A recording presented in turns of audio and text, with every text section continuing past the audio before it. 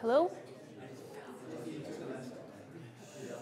I, I think let's start. Uh, so today I will give my second lecture about uh, squeezing obtained from nonlinear optics effect. So I didn't uh, discuss much squeezing in, in the first lecture. And then entanglement. I will discuss entanglement today as well. So this is the plan. Uh, first I will discuss squeezing from scratch, meaning from nothing, meaning from vacuum, uh, squeezed vacuum and squeezed coherent light. I will discuss twin beam squeezing per, uh, separately, and then I will come to my favorite subject, which is bright squeezed vacuum. And the second part will be devoted to entanglement, starting from the orig original EPR idea, then uh, discussing some dichotomic viewpoint, uh, continuous variable entanglement, discrete variable entanglement, some Bell inequality stuff, and finally macroscopic entanglement. So first, uh, first lecture starts now. So squeezing from scratch, from squeezed vacuum. Uh, the Hamiltonian that we derived yesterday, and actually it was derived in many, uh, in several talks, uh, tells us that uh, if we have parametric down conversion, there are photon pairs created with some probability. And uh, suppose that these pairs are created into a single mode. I said that it is a special case, the degenerate case, and then we have some interesting squeezing. Um, again, I will try to use the Heisenberg approach and start from the Heisenberg equation, which I discussed in detail yesterday. And we come, we have the only mode for this mode, we have photon creation operator, photon annihilation operator, and the equation for this operator looks like this. So it's a very simple equation, but uh, before solving it, we have to uh, it, it's a trick. We have to define the real and imaginary part of this operator, or rather Hermitian and anti-Hermitian part, which are called quadratures, or alternatively uh, coordinate and momentum. And uh, for these quadratures, uh, well, don't, don't, mix with the uh, coordinate and momentum of a single photon, which I, I was discussing at, last, at the last lecture. This is not the same, absolutely not the same, but has much much in common. Uh, so for the quadratures, uh, we have now uh, simplified equations because they do not contain any conjugated part. In, in fact, quadratures are real. Quadratures are Hermitian operators corresponding to real eigenvalues. So for each quadrature, we have a very simple equation that we can solve.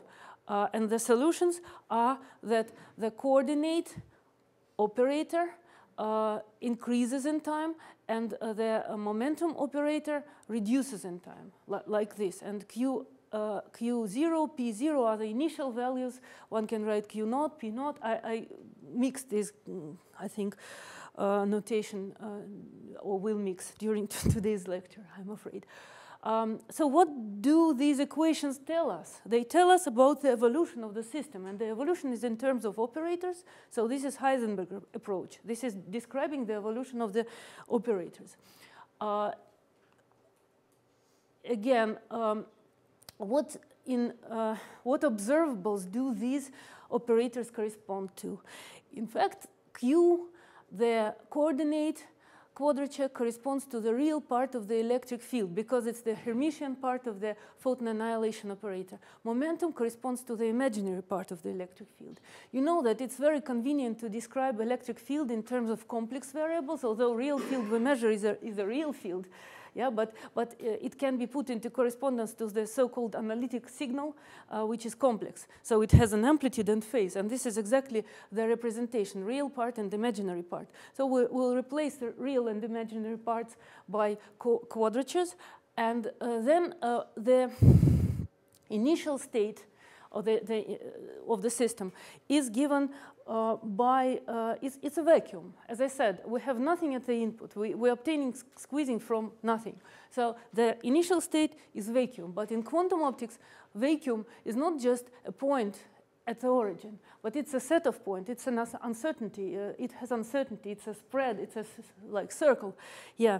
And uh, so we, we, we, should, we should see what happens when this circle undergoes the evolution described here.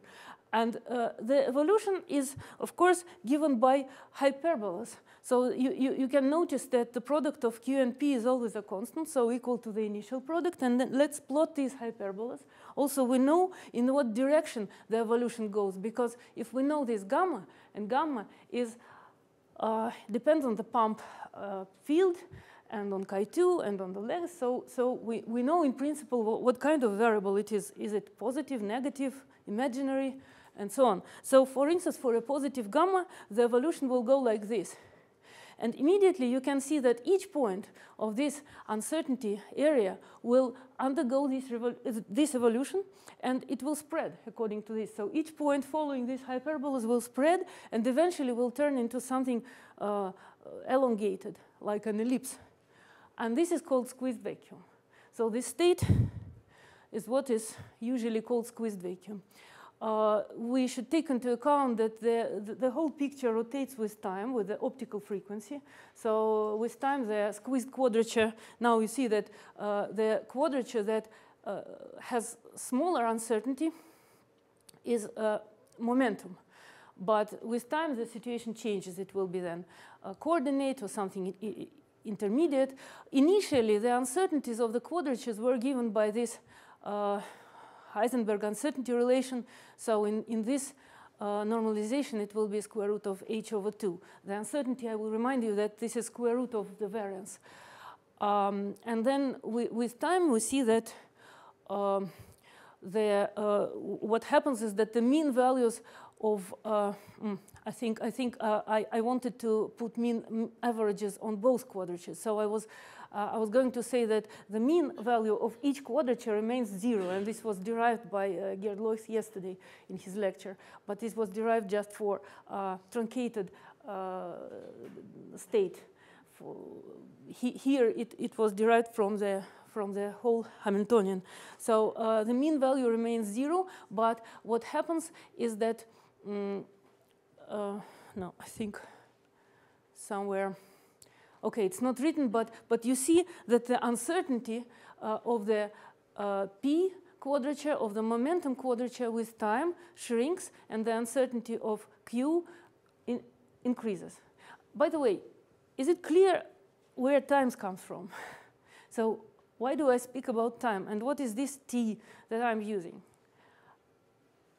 In fact, I could say that this is the time of the interaction. So what happens in the crystal, I send my, my laser, uh, my pump, and this pump has a, for instance, it's pulsed, and this pulse, uh, pulse has a certain duration. So you can consider that this t is the interaction time and the duration of the, of the pulse. And okay. So the question I find interesting is that, is this really a vacuum? We call it squeezed vacuum. It sits at the origin of the phase space. Is it really a vacuum? Uh, is it, is it, uh, how many photons does it have? And the mean photon number can be calculated very easily. In fact, yesterday I, I performed a similar calculation. Having this evolution, to calculate the photon number, we have to return to the old photon creation and annihilation operators. So probably it's also possible with the quadratures, but with the A, A dagger operators, it's easier. So we again, remember that A is formed, that, uh, that Q is its Hermitian part and P is its anti-Hermitian part. So we should add these parts. And, uh, and we obtain, by doing very uh, simple algebra, that we obtain that the transformation from uh, initial uh, operators A0 and A dagger 0 to the final operator A is described by these uh, transformation, which was yesterday also discussed, and it's called Bogoliubov transformation. Uh, here I have uh, two gamma instead of gamma because it's degenerate, but it's a question of uh, notations. So I can again denote it by G and call it parametric gain. So this is the evolution. From this, you can easily, we can easily calculate the photon number. It's again the same calculation that I did yesterday. I will not write it on the blackboard because, uh, because it's the same. So I have to calculate mean value of uh, A dagger A, uh, and then I just plug this expression into here. and I get these, all these terms will, with uh, mean values of A dagger not A not, A dagger not, A dagger not, and so on. And uh, as I said yesterday, because we consider the state to be a vacuum state and only the operators change, uh, you, you, see that uh, whenever we have this daggered operator standing on the left, or uh, an operator um, without dagger standing on the right, such terms are always zero. So uh, we, we cancel this term, this term, this, and we are left with just the last term, which is, as yesterday, the anti-normally ordered expression, and it will be non-zero, so I have to use commutation relations, um, and it will give 1. So we are left with this hyperbolic sine square of g. So the mean photon number at the output of this system uh, scales exponentially with this gain, with g. And the photon number can be very large. Interesting is that this system is just described by one parameter. This is the gain. This is the only parameter that describes everything because squeezing, uh, what we call quadrature squeezing, is the fact that the quadrature, as a result of this evolution, one is increased, uh, the, the uncertainty of the quadrature is increased, the other is reduced. And, and this uh, squeezing is in one-to-one -one correspondence with the mean photon number. So when you, when you have squeezing, you can immediately say from, from the value of quadrature squeezing, you can immediately say uh, how many photons uh, in the state, uh, in the squeezed vacuum there are. Um, well, just to remind that the product of the quadratures is uh, an invariant in this system, so it, it stays the same as initially, and it's the minimum possible uh, product of quadratures. So the Heisenberg uh, uncertainty relation is not violated, of course. Uh, the, the product of these quadratures can be larger, but if the system is good, clean, pure, uh, you don't have additional increase in the uncertainty. Um, the same system can be analyzed from the viewpoint of seeding. So you can have a coherent state at the input, uh, like a seeded parametric down conversion. What happens? This simple picture gives a uh, straightforward an explanation. So this is a coherent state. We have to follow these lines. So each point of the coherent state goes along the same hyperbolas, and we come uh, to a, an ellipse with the uh, p quadrature again squeezed and the q quadrature again, uh, again uh, anti-squeezed with the same relations more or less holding true. Um, and then also it's interesting to consider parametric amplification. We can see that depending on the phase, the initial phase of this state, the state can be amplified or de-amplified. Again, I consider a coherent state with this phase. The, the phase is, actually the angle of this, uh, yeah, the angle formed by, uh, it's not shown here, but it's clear, yeah, what is the state on the phase plate. Uh, and uh, as uh, the state um, follows the hyperbolas, you see that it goes, uh, it becomes more further from the origin, and also it gets squeezed. So it gets squeezed and amplified at the same time. Uh, but at, at a different phase, if it enters with a different phase, it will be de-amplified. There, there is an interesting point that uh, there are two uh, effects taking place simultaneously, both uh, approaching the origin, and then there is this spreading. So ultimately, uh, when, when, when you very strongly uh, de-amplifier state, it starts to, it should start amplifying again due, due to this uh, squeezed vacuum forming because the, the, the intensity of this state, the energy of this state doesn't go to zero because it will be, it will be becoming close to squeezed vacuum. I think that's an interesting point. Okay, so this is called phase sensitive amplification. It has interesting features, but I will not discuss it. Um, Another way to obtain a squeezed coherent state or a state that is squeezed and also displaced from the origin in, in contrast to squeezed vacuum is uh, shown here. So if I have a squeezed vacuum and I want to turn it into a squeezed coherent state, I should use a beam splitter, but a, a, very interesting beam splitter that is very asymmetric. So the transmission of this beam splitter should be almost one, and the reflection should be very small. Uh, and so all my squeezed vacuum goes practically through the beam splitter. This is important because the squeezing, uh, the quadrature squeezing, and in fact any kind of squeezing is very sensitive to losses. Uh, so if, if, if the beam splitter were 50-50 or even, even absorbing more sorry, reflecting this uh, mode more, uh, the squeezing would be considerably lost. But if it is uh, nearly transmitting, then, then it's okay. And then from the other port, I add a coherent state. Uh, I, I, it's drawn like this, but in fact, what, is, what, what one uses, usually makes is uh, making this coherent state much stronger uh, than the squeezed vacuum state. So this stick is shown too small. It should be much larger. And then what happens if it's known that uh, if two fields, uh, if some field is overlapped on a beam splitter with a coherent field, uh, what happens is that on the phase space, the state is just displaced. Uh, it, can be it can be proved uh, strictly theoretically in terms of the Wigner function, but uh, here I'm just showing pictures. So this squeezed vacuum will be displaced along the coherent state and nearly preserved in the photon number and squeezing. Why it is important to move the squeezed vacuum in, in this way. In principle, we could move it in, in all, on all possible ways. So the phase between, uh, the, phase between the uh, coherent state and the squeezed vacuum uh, should be fixed. Yes? So it should be moved in such a way that it becomes amplitude squeezed. So this is the amplitude, and you see that the uncertainty is, uh, in the, uh, is reduced, namely in the amplitude. And why is it good? Because it's easy to detect, because you can send this state to a detector. So this state is sent to a detector, for instance, a pin diode, and the pin diode gives, provides the photoelectric current. And this photoelectric current, if the detector is good, uh, what happens is that nearly every photon becomes an electron. So it releases an electron in the, in the pin diode. And these electrons then will show some uh, reduced amplitude fluctuations. It will look like this. So uh, if you look at current versus time, for instance, because time is the only variable you can change. If you could change space, you could probably change.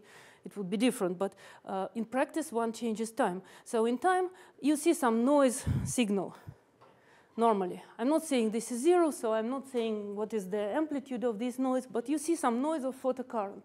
So if you send an amplitude squeezed light, the noise will be reduced. So with the same mean value, the noise will be reduced. And uh, this tells you that the light was amplitude squeezed. And this is, in fact, how uh, squeezed light can be detected, one of the ways to detect squeezed light. OK. And now I will a little bit revisit what Gerd Leuchs was speaking about yesterday. Um, in fact, he derived the effect, I think, completely in much detail. I will not do it, but I will, I will show how it agrees with this simple picture. Uh, so the Hamiltonian is the same as for four-wave mixing. And uh, here we need polarization, expansion over field, and we will take the uh, third term in this expansion. So we need cubic nonlinearity. So as I, as I said yesterday, this leads to the same effect, creation of pairs. In principle, this Hamiltonian can be, can be considered as a Hamiltonian creating pairs. But how does it happen? The state, the input state is a coherent state, and it evolves exactly as explained yesterday. And exactly as explained yesterday, there is a Kerr effect, so the refractive index depends on the intensity. But because the phase of the of the of the state of the input state uh, is uh, wave vector times z times coordinate or times length in the fiber, uh, we have this dependence of the uh, phase on the intensity. And I will not analyze it. It was yesterday analyzed in detail, uh, but it so happens that high intensity part gets more phase than the low intensity part. And then with time, it happens so that uh, the quadrature squeezing appears. But this is quadrature squeezing in some strange quadrature. It's not amplitude. From this model, it, it is clear that, um, that the amplitude uh, is, is not squeezed. So in this direction, along the um, amplitude, uh, there is no squeezing. and the squeezing appears along some strange quadrature. So the question is how to detect this squeezing. Um, it is also important that the sidebands, uh, so we, we, we can speak about the photon pairs created at some frequency sidebands. But where are these sidebands? because uh, in, in this soliton regime, the sidebands are actually within the, uh, within the pump uh, spectrum. So you cannot separate them spectrally, these sidebands. I can say that if you go to higher intensities, and we observe this now in, uh, hollow, in uh, hollow core fibers, in Kagome fibers exactly, like discussed yesterday and today, at higher pumps, pumping, uh, the sidebands separate visibly, and you can see, and you, you can measure um, twin beam squeezing between them, but I will not discuss it. Uh, but, but here you cannot separate. And so the carrier, so the pump, the strong coherent component, is basically uh, spectrally indistinguishable from the sideband. Uh, so what, what should one do in this case? Uh, and among other ways, one way would be to overlap it with a coherent beam on a beam splitter, as, as a little bit discussed. You, you can guess that using some proper beam with a proper phase, you can obtain uh, quadrature squeezing, squeezing of the amplitude, for instance. But there is another way, is to turn it into twin beam squeezing. And twin beam squeezing is something that has to be still introduced. So I haven't discussed it yet. So now I will pass to twin beam squeezing. I am showing a picture very similar to what Andreas was uh, showing today. But this is nothing of the kind, this is not seeded. But this is, uh, I will explain later what it is. Uh, this is unseeded PDC. Okay. So what is twin beam squeezing? We should consider non-degenerate parametric down conversion. We should have some degeneracy between, uh, some, some lifting of the degeneracy between signal and idler. So they should be um, of different color or of a different angle or of different polarization so that I can introduce four operators, A, A dagger for signal mode and B, B dagger for the idler mode. And as discussed in detail yesterday, the Hamiltonian will, will look like this. So it's, it's, uh, uh, it has two creation operators and two different creation operators. The Heisenberg equations, according to what I wrote yesterday, uh, are here, and you get them similar. So for A and B modes, for signal and idler beams, you have exactly the same Heisenberg equations. Uh, so in principle, it's, it's enough to solve everything for A and then to say, okay, for B it will be the same. And then let's do it. And now I would like to point out that yesterday I cheated you a little bit. So I, I did this calculation I cheated you, and uh, actually I didn't cheat you deliberately. I made a mistake, and you didn't notice. so, so the point is now, now it is shown how exactly this uh, calculation should be done. So we have uh, an equation where in the right-hand part, uh, th there are Hermitian conjugated operators. So if we introduce the operators S and D, which are sum and difference of A and B operators, then we get for these operators equations with a uh, Hermitian conjugation in the right-hand part. Yeah, the S over dt is gamma S dagger. And for D, you get the same, but with a minus sign. And from here, I came to some to wrong equations yesterday. But here it's I did it only on the blackboard. So what is, what is uh, saved on the side uh, of the conference is, uh, is okay. So here I show you how to correctly solve these equations.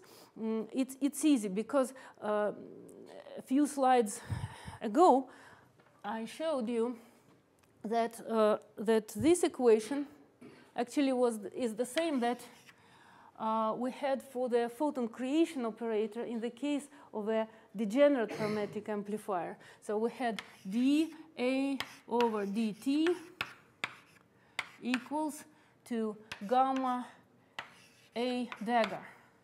There was this equation. And, and to, to solve this equation, I passed to quadratures. Yeah, you have to pass to real and imaginary parts, and then for quadratures you get these hyper, hyperbolas and so on. But the solutions were already known, and the solutions looked like here. So A was u A naught plus V A naught dagger. And this is called Bogolyubov.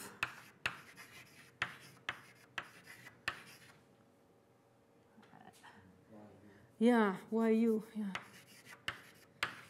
I know how to write it in Russian. so this is called Bogolyubov transformation. It's a very important equation because it's used not only in quantum optics. In quantum optics, it's used for describing parametric amplification. But maybe, maybe you don't know that also for, to, for describing superconductivity uh, one, and Cooper pairs, one uses the same uh, mathematics, uh, the same Bogolyubov. Uh, okay, uh, so uh, we, we already know what will be the equation for S from what we did with single mode parametric amplifier. And for the D, it will be the same, but uh, we have this minus here. So the V term um, and U and V are, uh, I'm just reminding, co uh, hyperbolic cosine and sine of G. And G is the parametric gain again. Uh, so here we have to, to put the minus because V is uh, sort, of, sort of negative in this case. It's like V having a different side uh, sign. So after we have the solutions for S and D, we immediately pass to A and B. And as I said, I'm not going to do it for B because uh, B and D are symmetric. So for A, uh, I calculate and it's very straightforward. Uh, so I have that A is given by the uh, other transformation, U A naught plus V B naught dagger. So now you see that A is coupled to B dagger, and B by symmetry will be coupled to A dagger. And these are called two-mode Bogolyubov transformations. Okay, so uh, with these transformations, that I repeat here, we can calculate um, all, as I said, all measurable quantities, like you can calculate mean photon number, variance of the photon number, uh, any moment of the photon number, and, and so on, quadratures. So let's, let's continue. Uh, mean photon number. This is a trivial calculation because we did it uh, just, just recently. The transformations for A and B look exactly the same. Uh, so it's easy to calculate just mean photon number for and for, for the A mode, this is an A and this is A dagger A. So I plug these transformations into the mean value. And again, I have four terms. And as I said already several times, three terms go to zero because they have normally ordered vacuum operators or um, here like here or you have um, you have an, a daggered operator standing in front or you have a non-daggered operator standing in the end and then we are left with this term so we see that the photon number in mode A is again hyperbolic sine of the gain and it's the same exactly the same as um, photon number in mode B. Yeah, it's not very impressive yet, so I, I did a lot of algebra to, to show you some trivial thing. It's, it's not difficult to make photon numbers equal. You, you can do it with a beam splitter, right? But uh, what I'm going to show is much more interesting, is that the fact, the fact that not only photon numbers are, um, mean values of the photon numbers are the same, but uh, their fluctuations are uh, completely synchronous. So if you have certain number instantaneously in one beam, you have exactly the, the same photon number in the other beam. So how uh, can it go? So fluctuations of photon numbers. To describe fluctuations, let's calculate this value, the variance of the photon number difference. So this is important. Mm, if the photon numbers are always identically the same, then the variance of their difference will be also zero. And this is already a non-trivial fact. And for this, I will use the blackboard. So please do not sleep for a while. Uh, I, I, I, will now calculate this thing on the blackboard. So um, because, because the mean values are the same, the variance is, is given by just this uh, second moment. So uh, square of the difference, mean value, you get these three terms. And again, to simplify my task, I know that for B and A, everything will be the same. So I will calculate only this term and this term and show that they will be equal, and then I will be happy.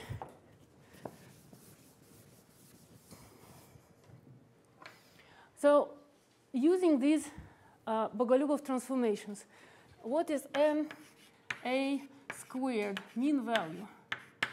I have to write four terms here. So A, first first n a. It's a dagger a, a dagger a, this term. And then I will plug the expressions for a and a dagger. So it's u a naught dagger plus v a naught, u a uh, naught plus v a naught dagger, u, and then repeat the same, u a naught dagger plus v a naught, and then u a naught plus v a naught dagger. And immediately I see that this first term vanishes because it's a daggered operator standing in front. And for the same reason, this term vanishes. And this v, I can drag outside of the bracket. So I will get v square. And then the first bracket gives me, so I just add, uh, ah, you noticed, you noticed an error, yeah. Right. Is it correct now? Actually, it's very good to make mistakes. People do not sleep because as soon as there is a mistake, at least in Germany, it, it creates some excitement. so, okay, so it's B now, yeah? Everywhere B. Uh, so I get here U um, B naught, A naught, or I can write A naught, B naught. Does it matter? No, it doesn't. Because the, the important thing of these Bogolyubov transformations is that they um, maintain the commutation relations. You can check that if, yeah. So U, U um, A naught, B naught plus V. And here it's important. I first put B and then B naught dagger. B naught, B naught dagger. That's the first term. And the second term is U, U, A not dagger, B not dagger, plus V, uh, B naught, B naught dagger. Okay, life gets easier a little bit. And now we have to um, take into account that only pairwise uh, I, can, I can only write terms that will be non-zero uh, here. This term will be non-zero, the product of this term and this term, and the product of this term and this term will be also non-zero. Concerning, for instance, this product, it will have um, it will be zero for the reason that it has a lonely daggered operator that I can drag in front and it will act on the vacuum on the left. And then uh, this term, if, if I multiply this by this, it will have a lonely A not operator. And again, I will. So, okay, so all terms that we are left with are V squared times the first um, term gives us U squared A naught a naught dagger, B naught, B naught dagger.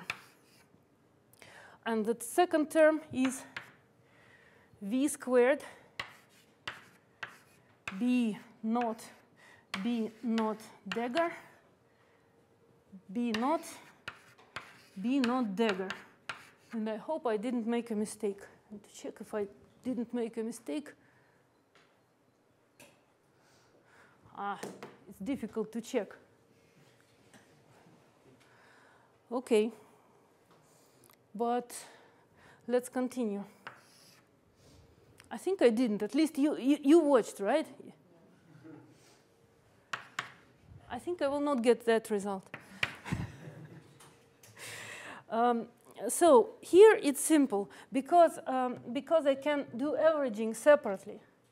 These are vacuum operators, they do not know anything of each other, and I can do averaging separately. And in each case, I can write 1 plus A naught dagger A naught, and this will be normally ordered uh, part will go to 0. So this is basically 1. So this is V squared, and then U squared uh, times 1, plus this term is a little bit more difficult. And I keep thinking whether I made a mistake or not. But you, you watched, you, yeah, just everything fair. So here I will do v squared, and, and here I will use the um, commutation relations, or yeah, I can, for instance, write it like this. The first part I will write like 1 plus b naught dagger b naught, and the second expression again 1 plus b naught dagger b naught, right? And this part will go to 0. Ah, I forgot to break it. This part will go to the 0, right? Because, because the dagger operator stands first. And this part will go to, to 0 as well because the, uh, the last one is not daggered. So, hooray, I think I got the correct result. It's v squared times u squared plus v squared. Okay. My next step is to calculate the second term. Sorry, the third term.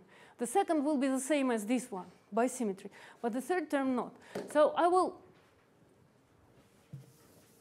do the same calculation.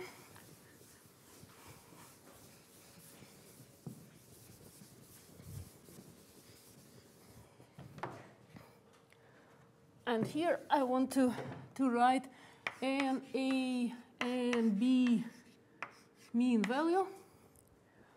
And here, right? Okay. Again, I plug Bogolyubov there. So it's U A naught dagger plus V V naught U A naught plus V B naught dagger and then the same for B, U, B naught dagger plus V, A naught, U, B naught plus V, A naught dagger. I hope I didn't make that mistake. Maybe I made some other mistake. So I, again, I cross out uh, all uh, zero terms. And again, the V comes out, V square and I'm left with constructions like U A naught B naught plus V B naught B naught dagger. And from the second bracket, I get U B naught dagger A naught dagger plus V A naught A naught dagger. And again, I notice that only two terms will be left. So this will be term number one and term number two. Uh, and again, for instance, the product of these two will be zero because there is, uh, ah, will it, uh, no, no, no, no. No. I mean, I mean the term, uh, the product of these two, yeah, will be will be zero because there is a lonely a naught. Yeah. So okay, I write these two terms, and I will, I will get, from the first term, I will get u squared, and it's the same as last time, u squared uh, plus, and from the second term, I get v squared uh, b naught b naught dagger, a naught a naught dagger. But you see that here I will write, I will do the same trick. So I will write it 1 plus b naught dagger b naught. And, and this uh, part will give 0. And the same I do with the second term. So I, I'm, I'm left with the same combination as the, so I calculated the third term without a factor of 2 and the first term, and they were equal. Uh, yeah, it's just the same calculation. So I get that the variance of the difference photon number is zero. And this is a remarkable fact. I will explain why. Uh, so in principle, it's clear why, why I got this result, because I, I, just said that the photons are born always in pairs, uh, that the same numbers of photons go to S and I modes, and uh, so what's, what's the, why should I be surprised that the variance is, is of the difference is equal to zero? The surprise comes from the fact that it's uh, difficult to get it classically. It's difficult to get it by just, for instance, splitting a beam on a beam splitter. It's, uh, it takes some efforts to, to achieve this result. Okay, so this is very unusual because if you split a coherent beam on a beam splitter, for instance, you can easily have that mean numbers after the beam splitter are the same.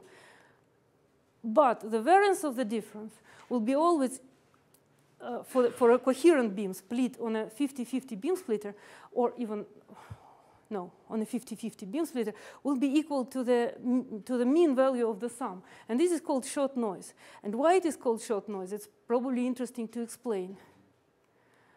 Huh? Yeah. Because it, it, it's actually the signature of light consisting of photons.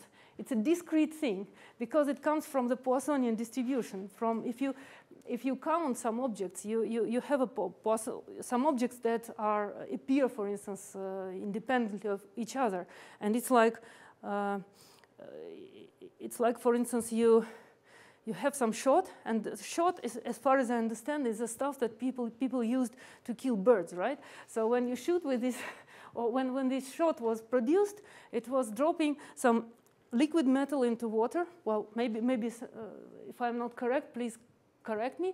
And uh, the noise uh, that, that can be heard, uh, it, it, it, created this, uh, this actually uh, term, shot noise. So it's like like, like shots. And the same analogy is when you hear, for instance, rain um, falling on, on a surface and you, you hear some discreteness in this noise. So this is the, the noise comes from the discreteness of the photon flux.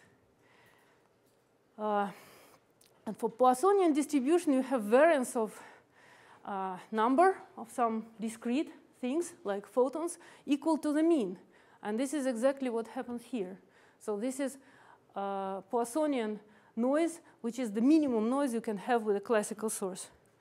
That's why, uh, yeah, this is just another proof that light, light consists of photons, by the way. Uh, so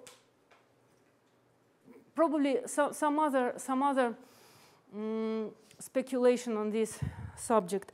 Why noise below shot noise is non-classical? So we, whenever you get the variance of the difference, whenever it's below the sum of the mean values, it's non-classical. Because um, if, if we assume that, for instance, from some source, we have equal photon numbers into two modes, two directions, so we assume that the mean numbers of uh, uh, here are, are, are, equal and given by some n, uh, then it's easy to calculate. I will not uh, show it on the blackboard, but it's really easy to calculate that the variance of the difference of photon numbers is given by this expression, expression twice the mean number in each mode plus the quadratic term. And then with this quadratic term uh, comes the combination of uh, Glauber's correlation functions that I, uh, I wrote uh, yesterday, uh, fully uh, rigorously determined in terms of normally ordered operators. So you, you have the sum of autocorrelation functions, G2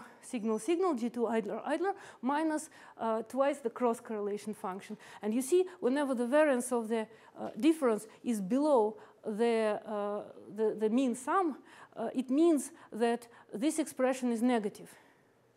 However, there is a Cauchy-Schwarz inequality. Well, there are a, lot of Cauchy-Schwarz inequalities, but one of them uh, reads like this, that namely that the sum of uh, autocorrelation second order uh, functions minus twice the cross correlation function should be positive. Uh, so if this is below the mean value of the sum uh, of the photons, then uh, the Cauchy-Schwarz inequality is violated.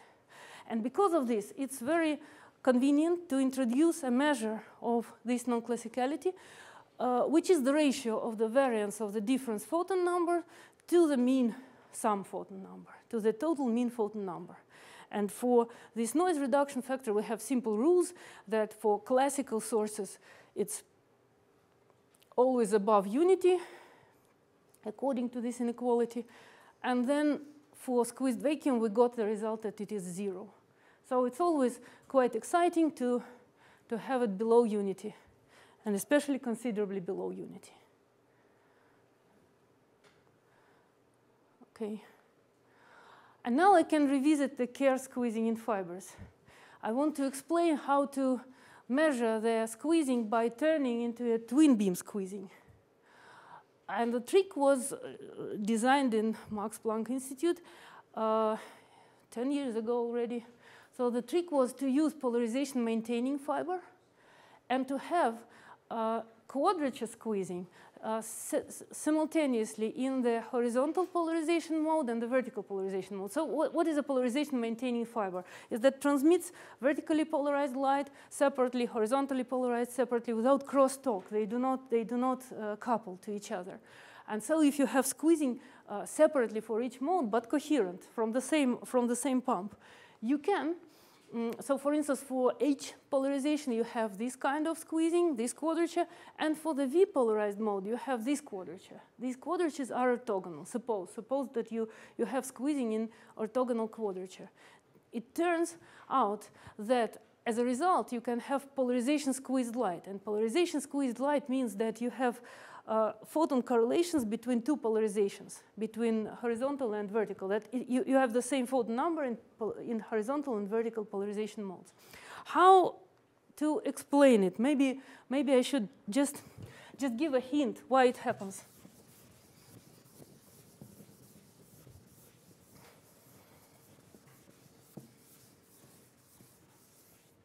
So suppose that you have two single mode squeezers. What I just described before. It means that the Hamiltonian for one mode is, and for instance, the first mode is H polarized. So it looks, I will just, yeah, I, H, gamma, that's my notation. And here I will write AH dagger squared. So this is a single mode squeezing Hamiltonian. So you have a quadrature squeezing for one mode plus Hermitian conjugate yeah? And then for the second mode, which is vertically polarized, suppose you have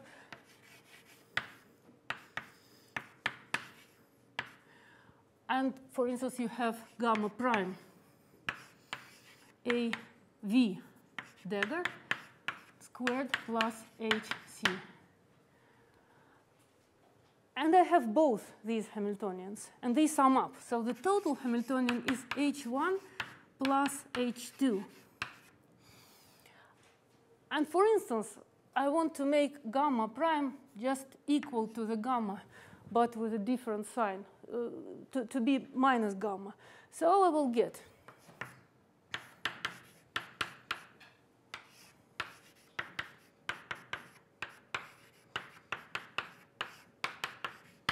right? So I will have a combination. And this combination can be written as AH dagger minus AV dagger AH dagger plus AV dagger. And from this you can, maybe if you know a little bit of polarization optics, you can guess that this corresponds to diagonally polarized light. So this is with some coefficient. So this is A45 dagger, and this is A minus 45 dagger. So from the Hamiltonian, that was a sum of two Hamiltonians. We came to, to, to, the Hamiltonian that contains the product of two operators. And this is basically like A dagger, B dagger, but in two other modes. So I, I hope I convinced you that having uh, single mode squeezing or quadrature squeezing in two orthogonally polarized modes, you will have some polarization squeezing, so some twin beam squeezing between uh, two other orthogonally polarized modes. In this case, minus 45 degrees and plus 45 degrees polarized. This is just very simple uh, explanation, but it, I think it's correct. Okay, and it was uh, proved in an experiment. Uh, the interesting thing is that they measured variance of the difference photon number, which was of course not zero, but at least less than the sum of the mean numbers.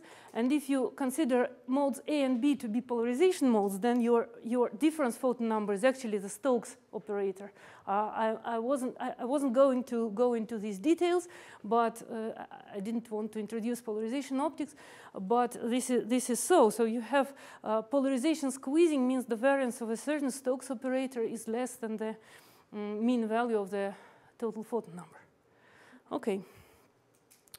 And uh, finally, for this first lecture, I will describe bright squeezed vacuum. This is a real picture, by the way. This is an optical table, and this is the parametric down conversion on a screen. So second stage is not observing it on the screen, but observing its reflection in the optical table.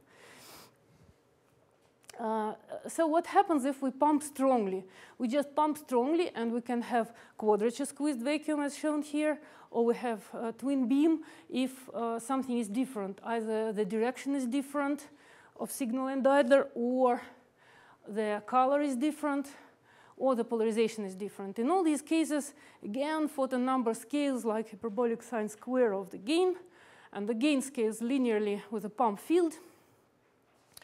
And so you can infer this gain by looking at the output, input, output dependence. So you, you change the pump power and you look at the output. And more, most precisely, this should be fitted in the logarithmic scale. And then you see that this dependence is actually an exponential dependence, just in the logarithmic scale, exponentially increasing, increasing dependence. And you have this bright state, which I mentioned yesterday.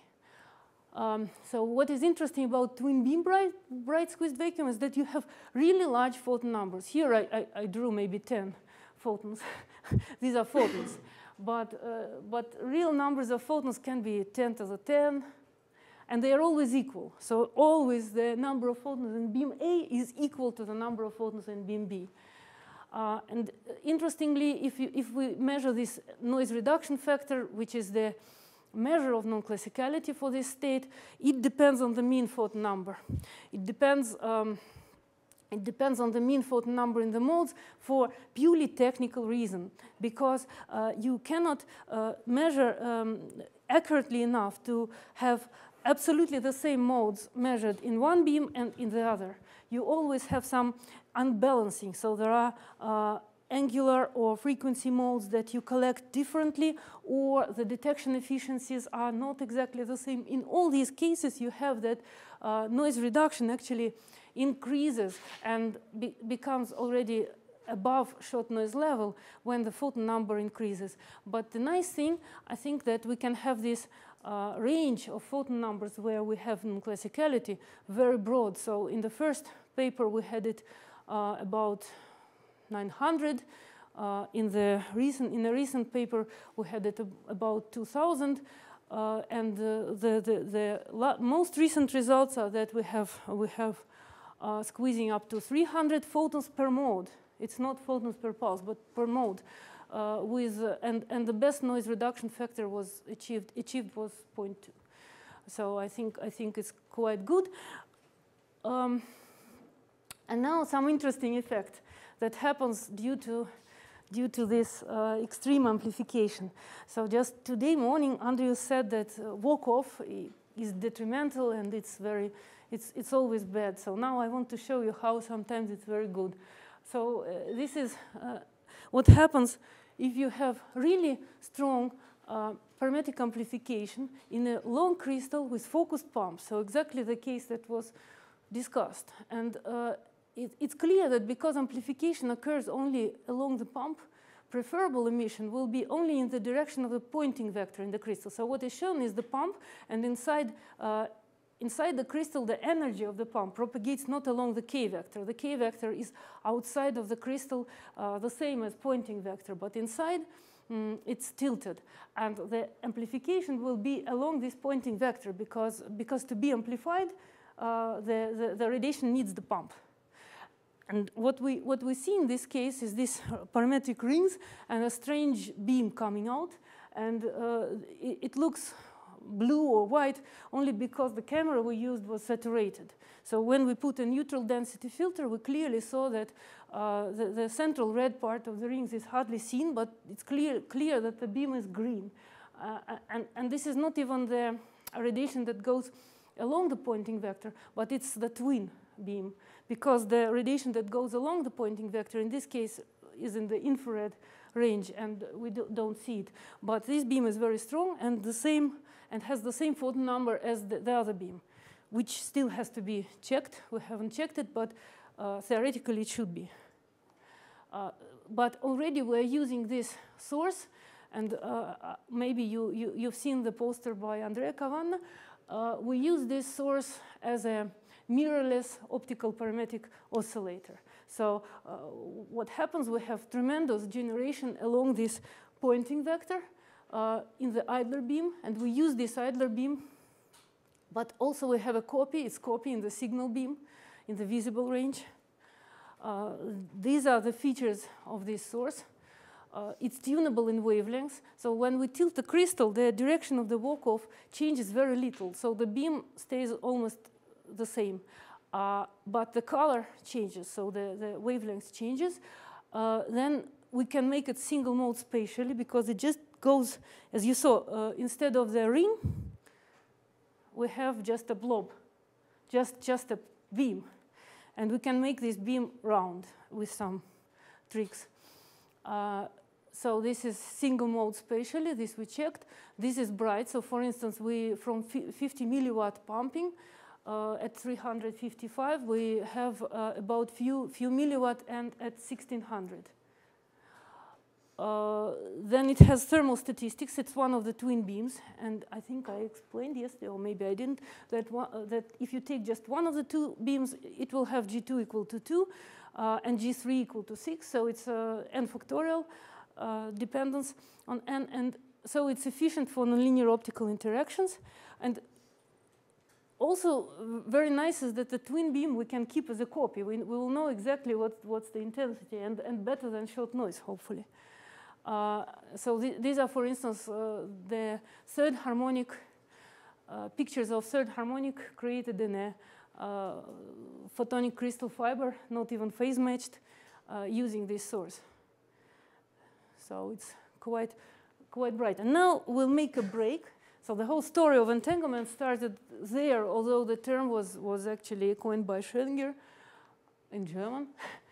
Uh, but the argument is about whether probability is a, um, a quality of a single probabilistic behavior is a quality of a single particle or a quality of the whole ensemble.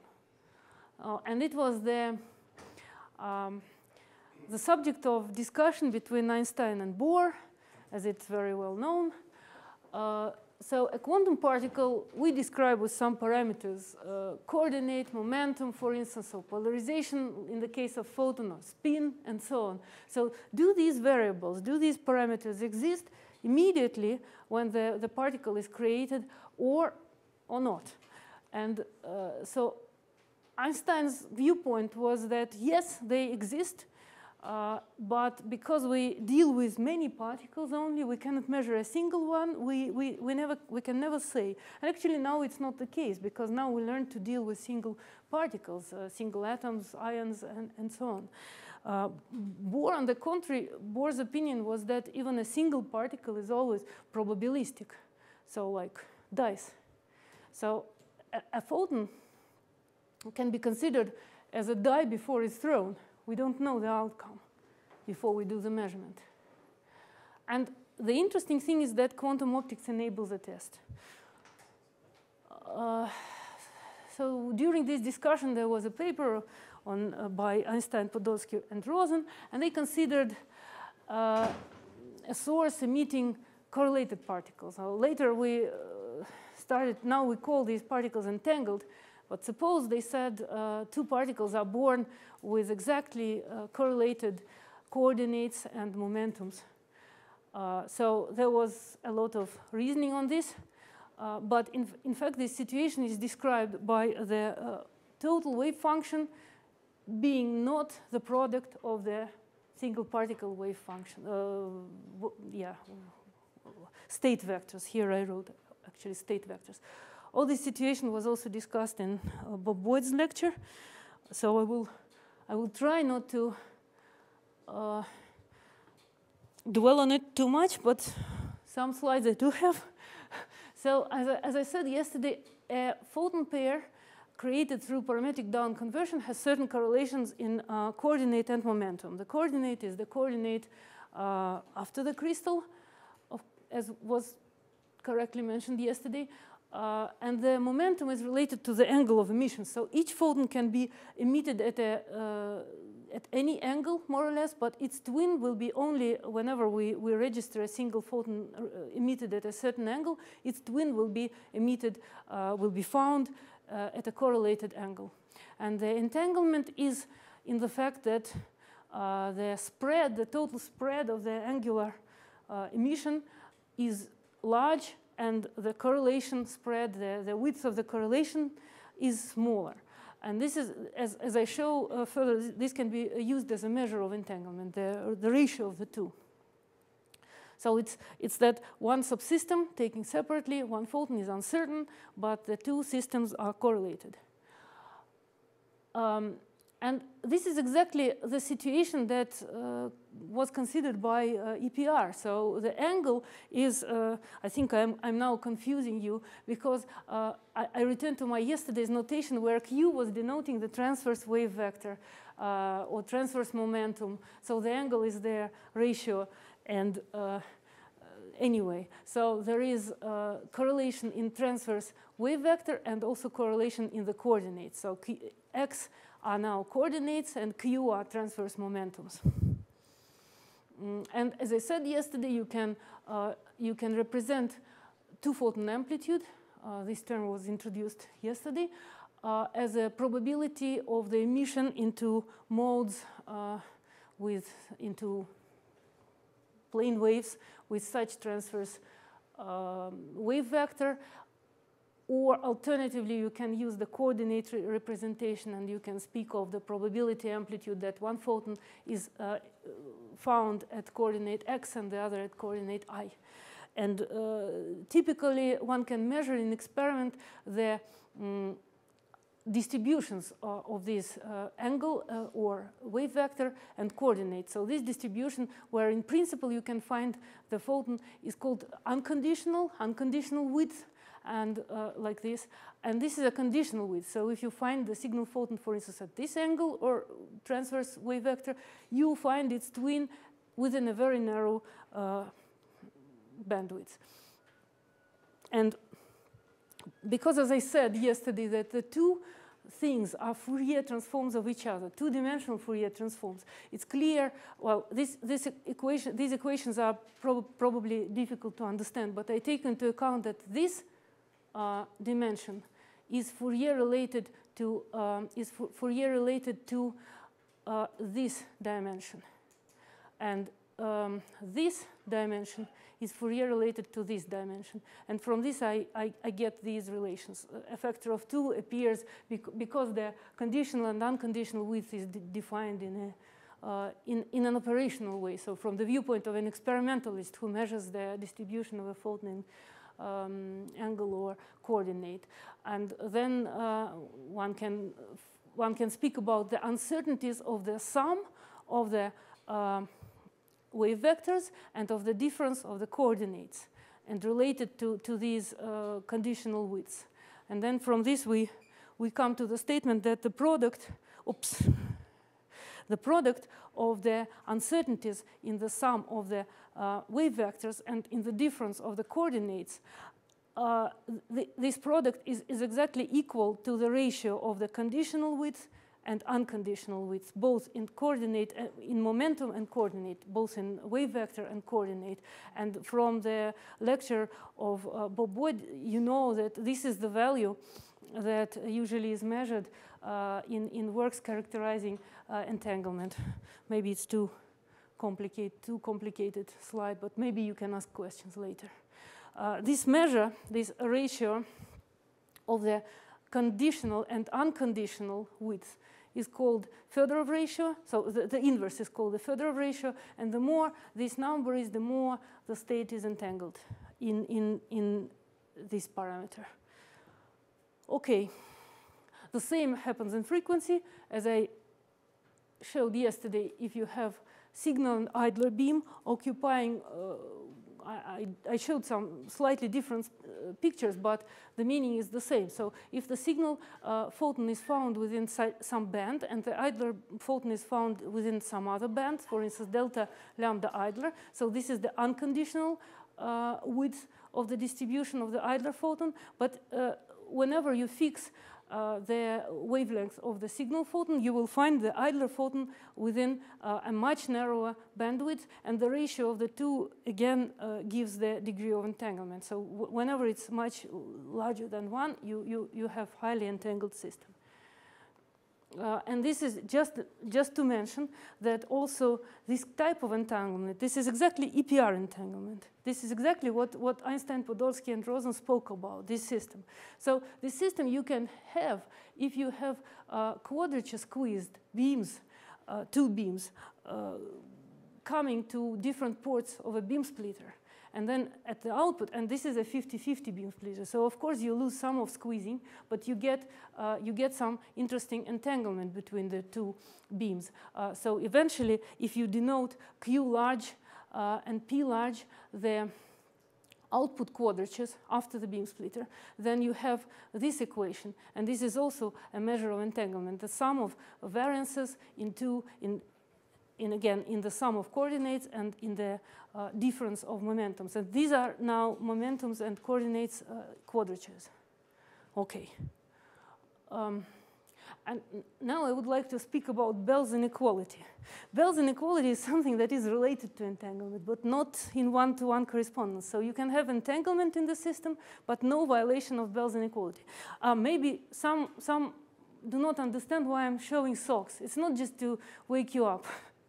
But, but there is a famous example of uh, some socks of different, you have two pair of socks, and for instance, two red ones and two blue ones. Then you, you put them pairwise in the, in the two boxes and send one box to Alice and the other one to, to Bob. And so if, if uh, sorry, what, what, mm, so if Alice gets a, a, sock of certain color, she immediately learns that Bob has uh, the sock of uh, either the same color or the different color according to the commitment. But, but uh, in no way this system, this, this is correlations. This is an example of correlations, right? So, or, or if you, uh, anyway, so there are other examples.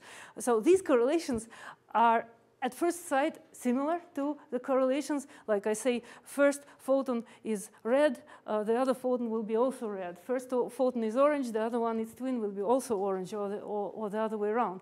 But the photon correlations, in principle, can violate Bell's inequality, and these correlations, the sock correlations, do not violate Bell's inequality.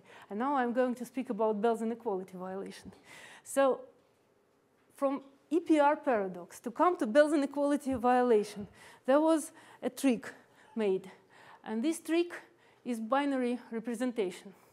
So to, to distinguish uh, not qualitatively but quantitatively between Einstein's viewpoint and Bohr's viewpoint, so does a single particle behave probabilistically or is it just a, a feature of the ensemble, uh, some trick was needed. And this trick was um, representing a, photon, or at first it was done, it was done actually not with photons, but with other particles, uh, as a coin with two outcomes.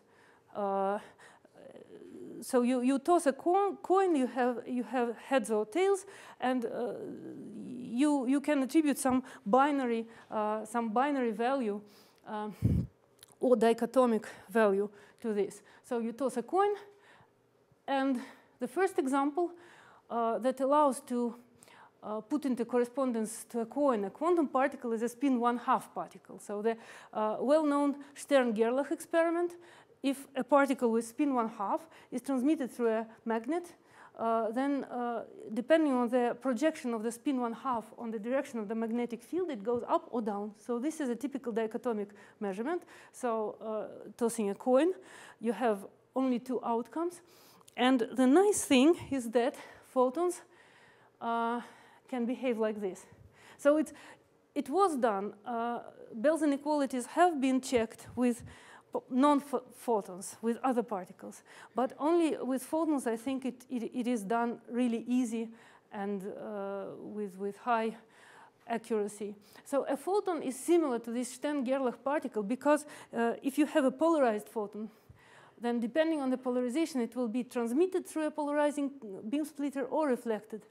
And uh, depending on this, you can say, uh, so the, the polarization was either this or that. Uh, and fortunately, we can make such photons using parametric down conversion. We, we can make photons that are uh, entangled in this, in this property, so they have correlated pol polarizations. So uh, we can prepare a state where uh, whenever photon in one beam is polarized uh, vertically, its twin is polarized horizontally. So one passes through such prism and the other is reflected. Yeah?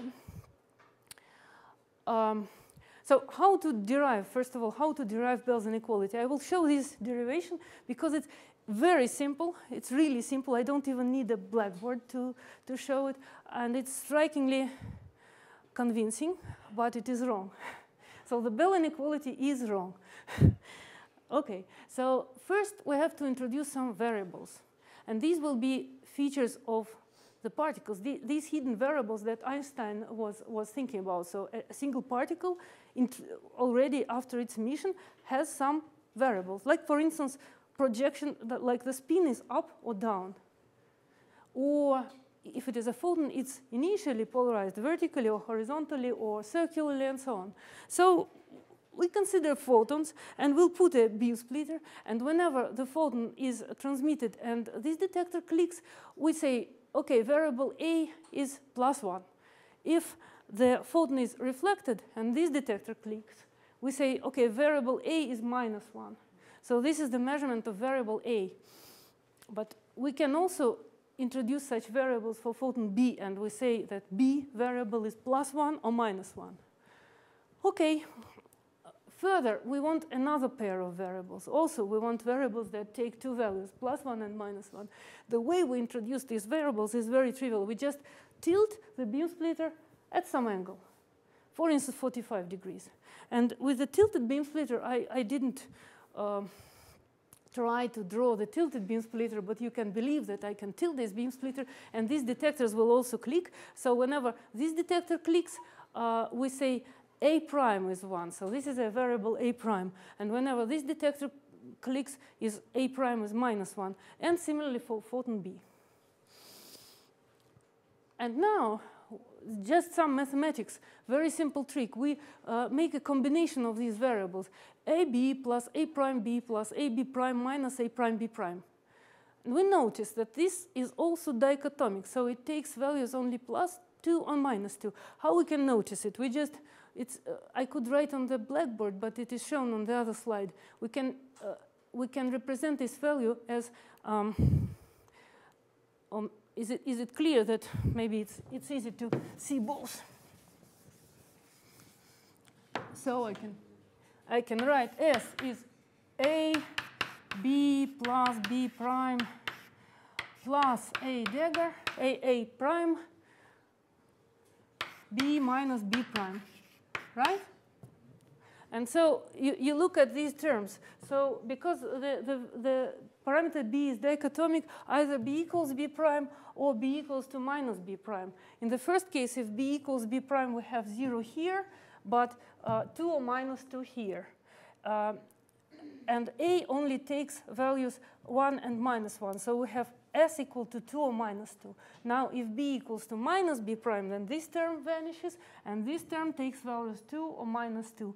And a takes a, a prime takes values plus or minus, uh, 1. So we again have s equals to plus minus 2. Or sometimes it, it's introduced with 1 half, but it's, it's the same. So I hope I convinced you that this simple mathematics works, and S takes only values plus and minus 2. And, and now something that every experimentalist can understand, but maybe even also a theoretician. So uh, if you have this value that takes only 2 and minus 2 values, and suppose you measure this value, you have 2, 2, sometimes minus 2, 2, minus 2, 2. What do you have if you average this value? Obviously, you cannot have anything above 2 or below 2, right? I think it's very clear that you have the value um, the absolute value between these two. So you, you have the absolute value less than 2, right? Mathematically, it can be introduced like this. Uh, we have to assume that there are some intrinsic parameters that determine the values A, B, A prime, B prime. And th these are namely called um, hidden variables, these lambdas. So a set of parameters. The pho photon is created.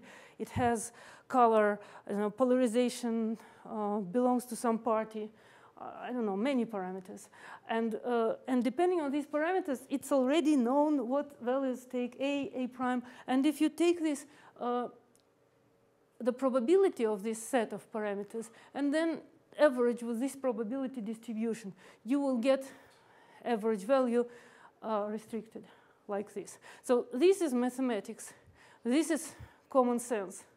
But both point at the same, that we have um, the value of S, uh, the mean value of S between 2 and minus 2.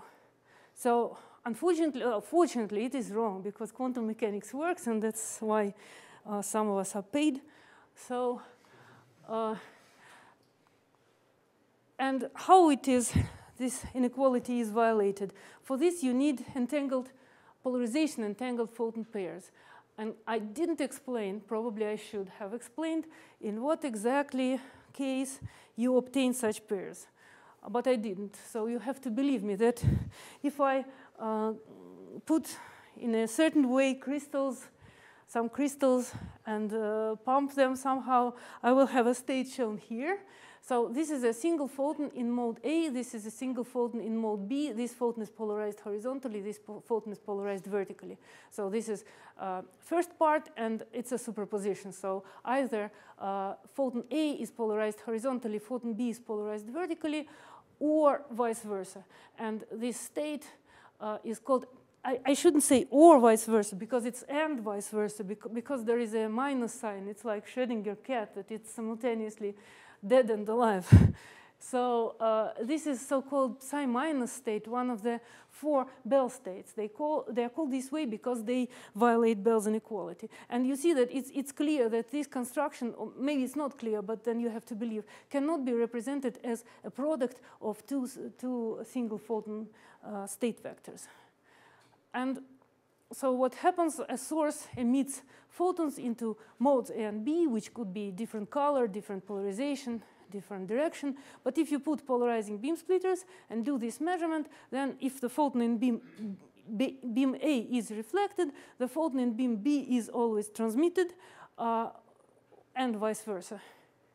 And so uh, you can also put, you can also rotate these two polarizers but whenever you do it in, a, in the same way, or you can put some quarter wave plates that make some other transformation and uh, rotate them similarly. So you have to you have to perform the same transformation in both arms, and then you will still have the same result. Whenever uh, photon A is transmitted, photon B is reflected, and vice versa. So one can say that polarization of each photon is uncertain, but it is always correlated with the polarization of the other one. Um, and after this uh, dichotomic or discrete variable viewpoint was introduced, and I think it was David Bohm who did it, uh, if I'm not mistaken, then uh, experiments started, and at first they were made with uh, particles, I think not photons, uh, with massive particles, but then with photons, and the most uh, the way they are made with photons is like, like I described, the source is parametric down conversion, to polarizing beam splitters, to detectors, and uh, uh, first we just put, we, we use some setting of the beam splitters, and then we use another setting of the beam splitters and measure, um, and always we measure coincidences. So we measure the joint, uh, the simultaneous numbers of photons measured in A and B arms. And the settings, uh, so we measure coincidences for very particular settings of the beam splitters. So either uh, this beam splitter is at zero and this beam splitter is at 22.5 degrees, then uh, this beam splitter is at zero, this is at minus 22.5, uh, this is at 45, this is at 22.5, and the false uh, combination. So it's, it's not that for any uh, orientation of the beam splitter you will violate these inequalities, but these or orientation exists.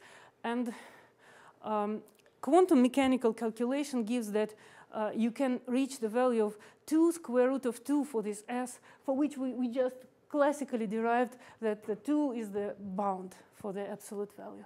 So you can exceed it by, like, like this, exceed this value.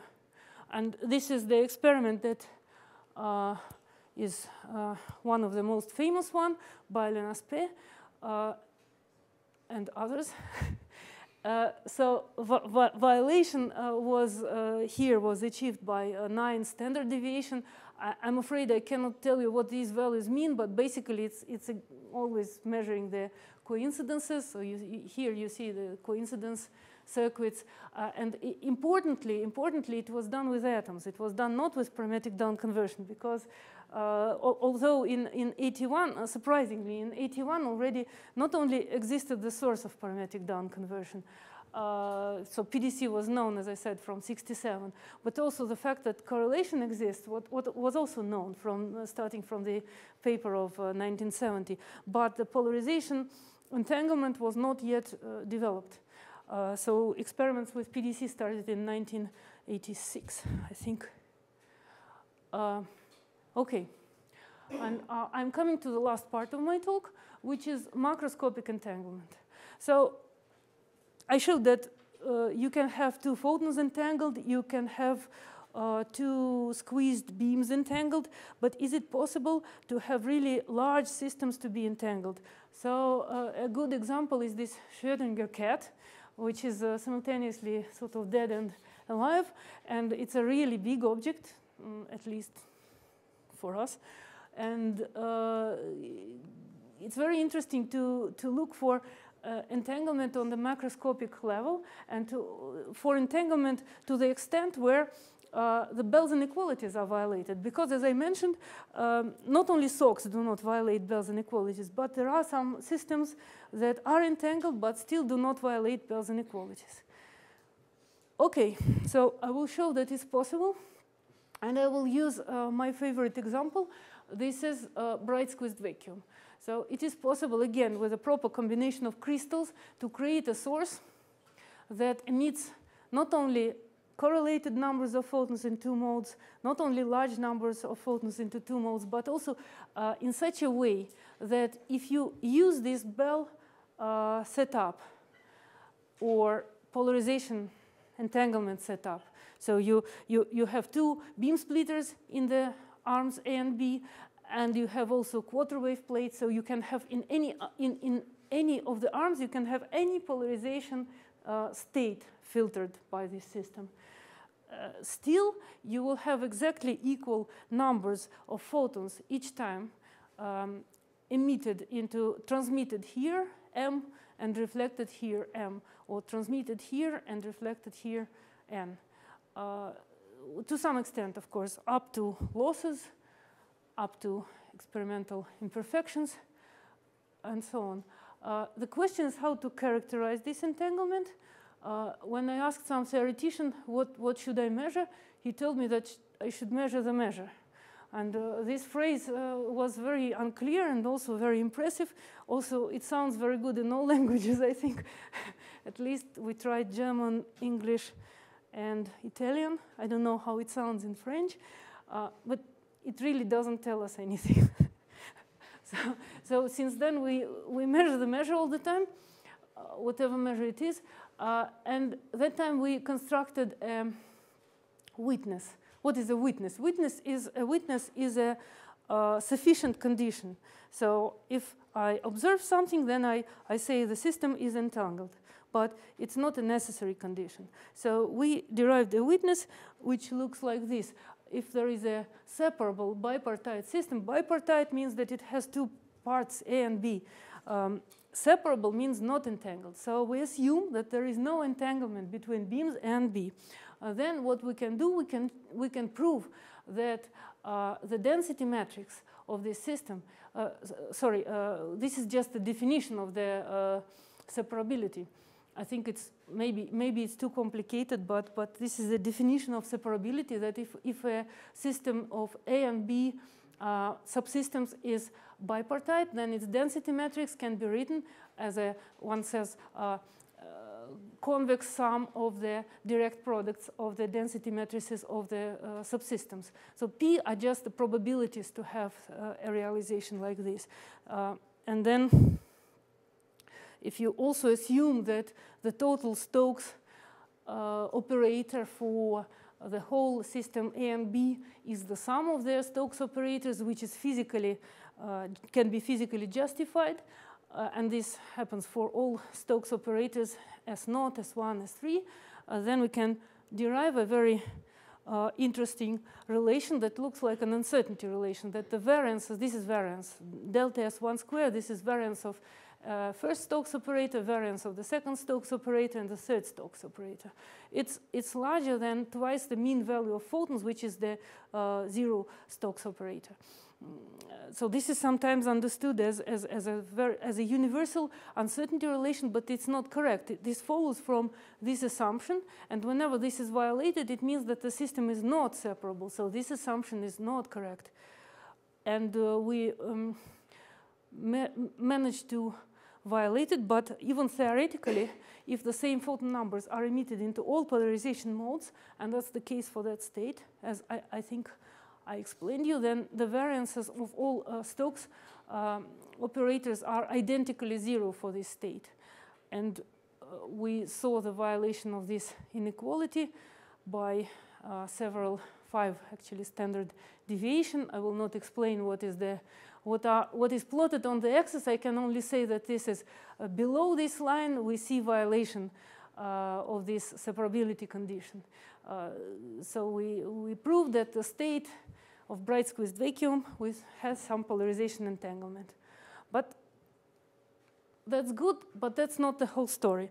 Because uh, we wanted to know whether it can violate some Bell's inequality. And for me, it was very, very nice surprise that our collaborators from Gdansk uh, managed to write an inequality, which in principle should be violated. So theoretically, it should be violated.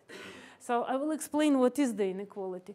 This is the source again, and now I don't care about what is what is reflected from the beam splitters, like in a Bell, like in a Bell measurement setup. There are just two polarizers. We see what is transmitted. Mm, here, in, in mode A, for instance, n photons are transmitted at a certain setting of the polarizer. And in mode B, at another setting of the polarizer, m photons are transmitted. And now I, I, I, start playing with these numbers. And if I assume, so this is the assumption of hidden variables, I assume that initially when the photons are emitted, I know the number, not I know, but there are certain photon numbers emitted into modes A and B. So someone uh, presses the button and some certain but unknown photon numbers are emitted in, in modes A and B. And only then we put here polarizers and measure and measure and what we obtain. So the, the clever thing was to introduce the, in, the, the variable uh, being the absolute value of the difference of m and n. So we take the difference of the photon numbers and we take the absolute value modulus. I here means setting of the polarizer, and uh, they used many settings of the polarizers, but minimum uh, minimum two in each arm. I will show you on the next slide. But if there are L settings of the polarizer, the inequality looks like this. Uh, and it's basically a distance inequality. I can, I can show it here. So minimum, I, th th there are uh, one and two settings of each polarizer, two settings of each polarizer. And M1 is the number of photons you get at setting one of this polarizer, and N1 is the number that you get at setting one of this polarizer. So like this.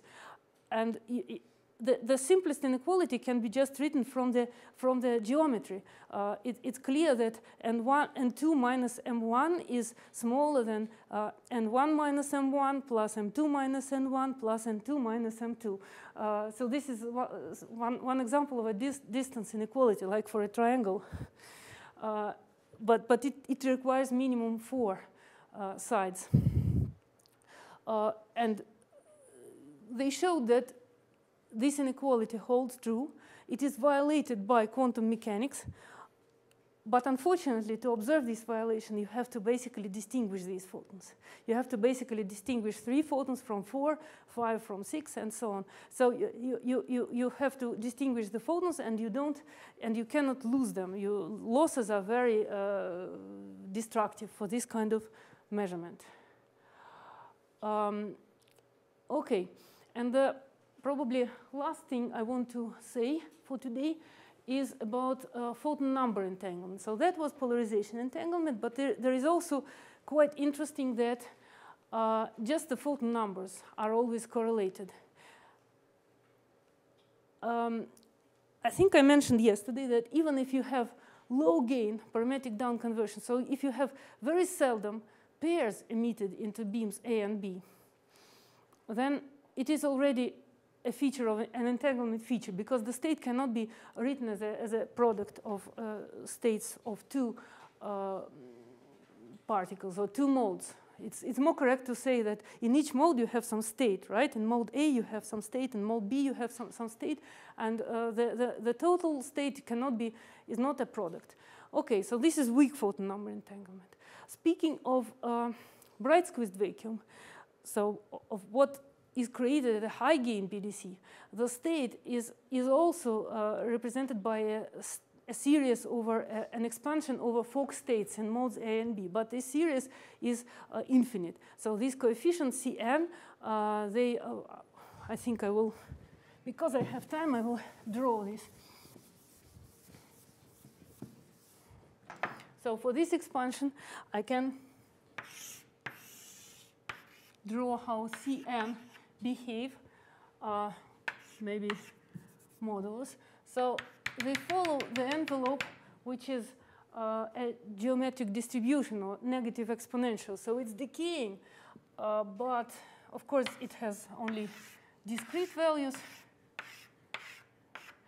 But the higher the parametric gain, the less steep is this decay. So for low parametric gain, you have a state like this, which has basically no photons or one photon in each mode or very seldom two photons. But if the gain is high, you have all these terms, so a large number of terms. And this can be shown to be uh, to, to indicate high degree of photon number entanglement.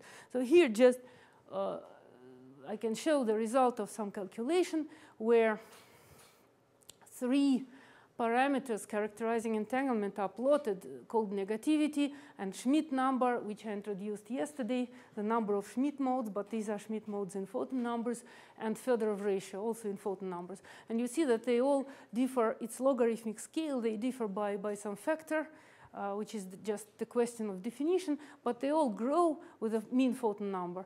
This is what happens when you have several modes. Um, so the growth will be not so not so fast, but still, still the state, we see that the more entangled, the, the, the more uh, bright is the state, the more entangled it is. And finally, uh, just an, an example. So how looks the unconditional distribution over photon number? It's broad. So each subsystem has uncertainty, large uncertainty in photon numbers.